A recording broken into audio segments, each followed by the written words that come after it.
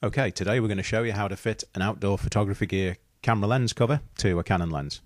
First thing you want to think about doing is actually removing the tripod bracket. This will make applying some of the smaller sections a little bit easier from the uh, rear of the lens, rather than trying to stretch them over the uh, front end and possibly damage them. First thing to do, lay the lens down, open the pack, take out all the pieces, and if you marry up individual widths with barrel widths on the lens, working your way along, looking for pieces with windows, make life a little bit easier. Continue matching the pieces till you get to the end. Last couple of pieces will be the lens cover and the lens hood. And then you can start. Perhaps best putting the lens on its end. Thing with these guys, you can actually reverse these inside and wear them to black as well for that sporting look.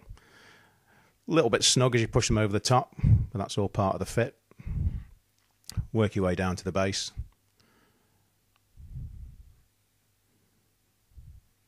then the second piece. Just try and leave a little bit of gap between uh, each piece, just helps them to rotate for the uh, focus rings and uh, and so on. Working your way up the lens till you get to the top. Last piece there. And then to the lens hood. Lens hood's quite a snug fit as well, so it shouldn't slide back off. Rotate the petals around.